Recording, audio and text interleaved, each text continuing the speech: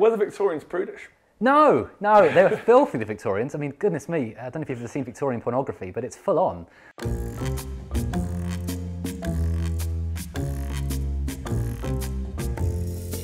There are definitely questions you should never ask a historian. You were tweeting out about the Dark Ages and Yes. why the Dark Ages.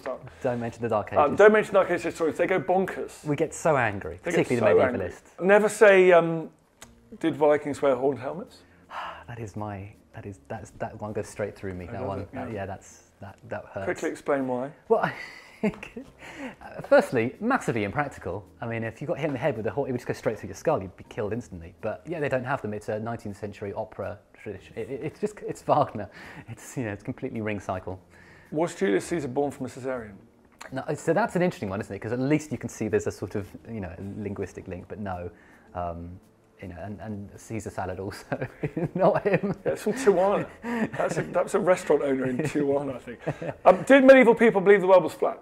No, and that's a really common one, isn't it? And we're seeing that coming back. And people keep saying to me, "Yeah, but you know, people they thought the world was flat." It's like, no, they didn't. I mean, the Greeks knew it was it was a sphere. Uh, I mean, even just a navigator, anyone gets on a ship, they can see the horizon dip down if you get onto the, you know. It, it, it was just easy to prove with your eyes. You didn't even need mathematics or astrolabes or anything. But no, people knew the, the world wasn't flat, although Columbus did think the world was slightly pear shaped. But, you know, we don't love Columbus. He was a bit of a jerk. Speaking of Christopher Columbus, Oh, no. did he discover America, Greg? God, I'm going to get cancelled, aren't I? No, I mean, he's sort of, he's looking for India. He blunders into Cuba. He thinks it's Japan. I mean, he, he doesn't discover America. He discovers the Americas, but he thinks it's India. He thinks it's the Indies. He never sets foot in North America. I mean, the Vikings get there long before him, of course. Um, but, you know, it's still important. I'm not saying we shouldn't talk about him, but yeah. Uh, were the Victorians prudish? No, no, they were filthy, the Victorians. I mean, goodness me, I don't know if you've ever seen Victorian pornography, but it's full on. Um, they, no, they, they love jokes, they love slapstick, they love um, uh, puns, they were quite naughty, they were very inventive. You know, if you look at early Victorian cinema, it's very, very clever and shrewd and funny. And, and you know, this is 1895, 96. They've literally invented the camera, you know, the moving um, footage camera like that year. And they're already doing really inventive things with it, including kissing. You know, they're, they're quite risque. And yeah, Victorian porn is, you know, it's not just sort of people's ankles. So, no. Uh, did, um, did Napoleon have small man syndrome? He was average height. I mean, come on. I mean, we know this. I mean, I don't know how tall you are, but you, you tower over me. So I guess in, in comparison, I should have small man syndrome. But I don't even know if there is such a thing. But no, he, he's, you know, I think when we look at Napoleon, we see someone who is sort of driven by this impulse to, you know, conquer and, and be glorious. But a lot of that we can track to his childhood.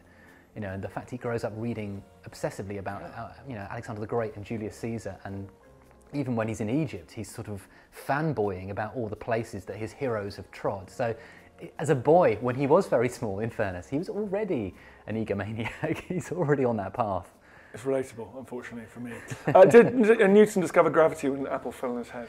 So this is where we get into sort of uh, or nearly, but not not entirely. I mean, obviously, the story is told to us from Newton's friend, um, whose name's escaped me for a second, but um, it's an antiquarian who tells the story of sitting in a garden with Newton and saying that that was the tree where the apple fell, and I first thought about it. So, yeah, we're, we're in a sort of ballpark sort of fair, but it's not quite true kind of territory. Okay, other questions. This is, excuse how bizarre these are, but it's just a thing that's happening, Greg. um, who's most likely to be best at speed dating, Napoleon, Anne Boleyn, or Genghis Khan? That's a really different mix of people, isn't it? Can you imagine that on Tinder? And you'd be like, Napoleon, no. Genghis Khan, t- terrifying. Speed dating. And, well, I mean, Anne Boleyn played the long game. You know, she, she wooed Henry for several years, so I don't think she's the speed dating type. Oh, really? I think she'd be electrifyingly attractive, though. She was so she was super smart. She was she was not the most beautiful woman at court though. She famously Yeah. was slightly sort of average, but she was charming, charismatic, and clever, and that's what made her attractive. Uh, I think Chinggis, he had uh, he had an instinct. You know, he was he, he knows he's he's pretty ruthless, but he could also be very, loyal. So maybe he was sort of a gut feeling kind of guy. So maybe on a date he would be, you know, he'd go with his instant urges and go, yes, you're the one, let's get married. I don't know. Um, who is most likely to get thrown out of a nightclub? Henry VIII, Margaret Thatcher, or Boudica? Well, Boudica would burn down the nightclub. Yeah. So um, I'd argue there isn't a nightclub uh, to start with. uh, Henry VIII would almost certainly just try and buy the nightclub, and then he would probably dissolve it. Uh, Thatcher, you know, she famously didn't sleep much, so she'd be in the nightclub till 3 a.m. I guess. Good point. Maybe. Uh, who's most likely to become an Instagram influencer? Newton, Charles II, or Matilda, Empress Matilda? It's obviously Charles II. He, a man loved loved pimping himself up for a party. Uh, he was very actually one of the things that's interesting about Charles II is he's a very savvy um, manipulator of public image, and you know he would famously he would have dinners in front of the full public. They could come and watch him dine. You know, he understood that connection between the king and the public, that, or rather his, his subjects, needed to be about one of intimacy, and so uh, he would be brilliant on Insta. When you were young, what big questions of history did you want to know the answer to that you couldn't find? So when I was a kid, I wanted to know uh, how did knights go to the toilet in their armour. I've answered that in the book. When I was an archaeology student, I wanted to know how, how can you tell if a hand axe is a hand axe or a bit of rock. Piece, yeah, and I, I've answered that in the book as well, because actually that one I, I spoke to Dr. Becky Wragg Sykes, who's a Neanderthal expert, and she sort of walked me through how we do actually identify it. So that was nice. I finally got to answer that question. Um, if you could spend five minutes with one object lost from history on a table in front of you, what would it be? Object. Hmm. Ooh. Um, oh, that's very frustrating because I'm tantalised by so many things that are lost now. I, I would really like to see Plato's alarm clock. So 2,400 years ago, Plato apparently invented a mechanical water-based alarm clock, apparently to wake up his lazy students, as far as we can tell. But we don't know what it looked like, and I'm just, yeah, I just, I'm intrigued. I just want to know how much effort did he go to? Surely you just clang a kettle, you just bang it next to their heads. Get up! But um, yeah, I'd like to see Plato's alarm clock, please. Um, okay, so if you had a time machine, would you use it to travel to the past or the future? Oh, oh, oh, well, the future is going to be a kind of apocalyptic hellhole, right? It's going to be like super hot and you know sandstorms and a nightmare. So um, the past sounds safer, although you know plague less fun. Um, I'm going to go back. I think 1968, something like that. I want to go back. I want to see Jimi Hendrix play. Uh, it feels like a sort of fun time to be, you know, young, going out to London, go see some bands. Um, fashion's pretty good. Yeah. Um, who is one person alive today that we talked about in 500 years' time? Interesting. Yeah. And that's a really difficult question to answer because I think, I, well, I think one of the problems of being a historian is we just don't know how future generations will remember us. And in the book, I've tried to answer that. Someone asked me, what will we be known as? What will our generation be called? You know, are we the Elizabethans? Are we the, you know, the internet people, the internet age? Are we going to be called the, you know, the screw-ups? Um, and so it's really hard to know who will be famous in the you know in medieval times right chaucer boccaccio and so on they are clinging to the idea of glory and fame and they're hoping that they will be known 500 years from now that's what they were aiming for so i guess if you were to apply that that kind of model i guess elon musk would love to be known in 500 years time um, but who will be known i mean it's it you know Tough, isn't it? I would have said Neil Armstrong while he was alive. No, because Neil Armstrong is one of those fascinating. Like, he was so famous, and then he was completely not famous for a bit. Buzz Aldrin ended up working in a, a car dealership, and extraordinary. He walked the moon, and he ended up selling used cars. And there's a kind of bizarre drop off the intensity of being uh, ludicrously famous, and then the kind of the plummeting off. So. If you could be a fly on the wall for a particular moment in history, what would it be? Jimi. Hendrix?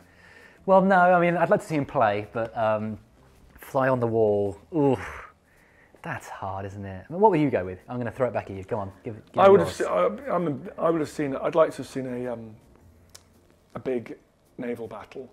Okay, The idea of 40 over 40 ships the size of HMS Victory all sailing around each other. so a sort of, a, a- sort of the golden age of sail. Yeah, yeah. just like a bizarre, like a totally extraordinary spectacle. Yeah, and the storms you get afterwards as well. yeah, you know, that, storm um, afterwards. Whereas I'd probably go for something a lot more tedious. I'd probably go for like, you know, something small and intimate. I love to see, you know, the moment that Leonardo da Vinci as a young apprentice painted a hand and his, you know, Verrocchio went, holy crap. It's all right. Kids got game. yeah, you're good. Or yeah, or fifth century BC Athens, or I don't know. It's just it's an impossible question. It's painful to even There's ask a it. billion answers you I'm could sorry, give. man. Um, which what historical era would you find least appealing as a tourist?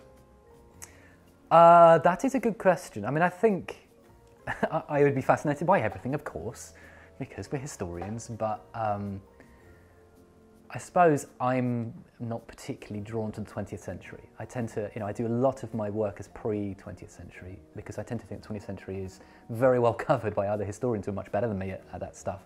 Um, so I don't really have any huge inkling or inclination to go back to you know any of the kind of big landmark moments of the 20th century, other than seeing Jimi Hendrix play. That's my you know that's a night out. That's not me. Be glad to know this. The final question: If you hadn't become a historian, what job would you be doing? Oh, um, I always thought I'd be fascinated by neuroscience. So I, you know, I, I'm interested in what makes people tick. You know, I think historians are. We are nosy. We we're puzzled by human motivation and behaviour um, all those emotions of guilt and, and rage and ego and all that. And I, I think I'd like to know the kind of the chemical processes and the pathways and patterns that you know give rise to those sorts of things. So yeah, I'd, I'd, probably go into brain science or something. Greg, I'm very glad you became a historian though. Thanks for coming on the podcast. Cheers. Welcome to the History Hit YouTube channel, which we are relaunching. We've got all the best exclusive content going straight onto this History Hit YouTube channel. And you can find out, for example, why on earth I'm standing at the top of this mast. You should probably subscribe.